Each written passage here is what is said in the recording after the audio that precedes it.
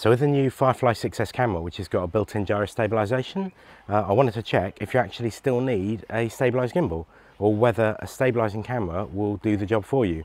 Now the advantage is obviously a lot cheaper because this whole camera is cheaper than buying a gimbal.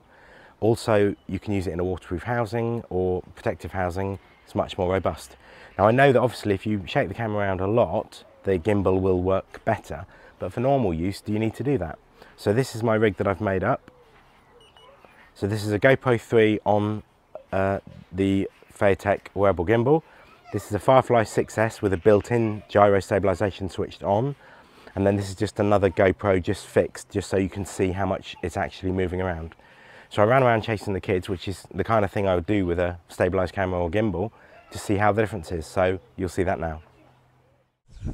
So just do some wiggling testing then. So this is just gentle wiggling.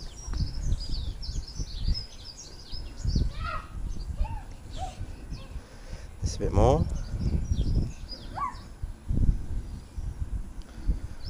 This a bit more.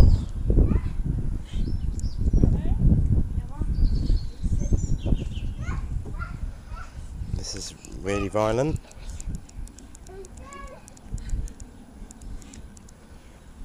This is walking.